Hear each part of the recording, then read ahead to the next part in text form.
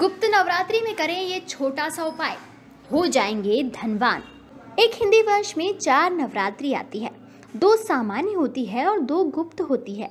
दो नवरात्रि चैत्र और अश्विन मास में आती है। इसके अलावा माघ और अषाढ़ मास में भी नवरात्रि आती है, जिन्हें गुप्त नवरात्रि कहा जाता है। इसमें किए गए उपाय से आपका जीवन खुशहाल बन सकता है। जो लोग तंत्र मंत्र में विश्वास करने वाले हैं, वो हर नवरात्रि में उपाय करते हैं। इस समय किए गए उपाय तुरंत असर दिखाते हैं। माना जाता है कि नवरात्रि में यदि कोई उपाय किए जाए तो आपकी समस्या जल्द ही खत्म हो जाती है और आप पहले से ज़्यादा अच्छा अनुभव करते हैं। इस नवरात्रि में आपके सारे उपाय सफल होते हैं। माँ की आराधना करने से आप अपने घर का कलेश, पैसे की परेशानी, संतान प्राप्ति आदि के लिए उपाय कर सकते हैं।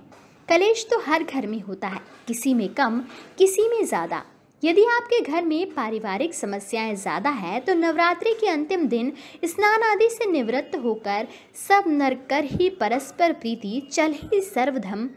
निरत श्रुति नीति का उच्चारण करते हुए अग्नि में घी से 108 बार आहुति दें। गुप्त नवरात्रि में लाल आसन पर बैठकर माँ की आराधना करें। माँ को लाल कपड़े में दो लौंग रखकर नौ दिन चढ़ाएँ। इसके साथ ही कपूर से आरती करें। नवरात्रि समाप्ति के बाद लौंग लाल कपड़े में बांधकर सुरक्षित रख। धन की प्राप्ति के आसार बढ़ेंगे। साथ ही सुबह और शाम दोनों ही समय माँ दुर्गा की पूजन करें। उन्हें सुबह सफ़ेद फूल अर्पित करें और शाम को लाल फूल। इसके साथ ही दोनों वेला एक विशेष मंत्र का 108 बार जप करें। मंत्र होगा, एम ह्रीं क्लीम चामुंडाय विच्छे, ज्वलम हम सह ल फट स्वाहा। एक मिट्टी का छोटा घड़ा या सुराही को पानी में भरकर घर की उत्तर दिशा में रखने से पैसों की तंगी नहीं होती है। इन्हें खाली न रहने दें। जल के समाप्त होने पर इसे दोबारा भर दें। घर में देवी लक्ष्मी की मूर्ति या तस्वीर ज़रूर रखें।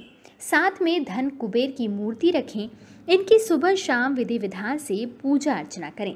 धन कुबेर उत्तर दिशा के स्वामी हैं, इसलिए इन्हें हमेशा उत्तर दिशा में रखें।